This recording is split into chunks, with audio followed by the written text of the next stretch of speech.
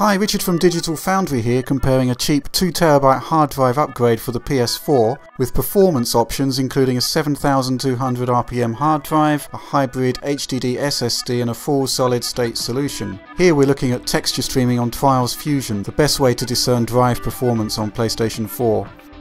SSD leads the way while the three mechanical hard drives generally tend to show similar results. There are so few games that stress hard drives in this way that an SSD doesn't really make sense overall. The 2TB upgrade offers the best value in terms of raw storage and right now that's our recommendation for those looking to upgrade their PS4 drive.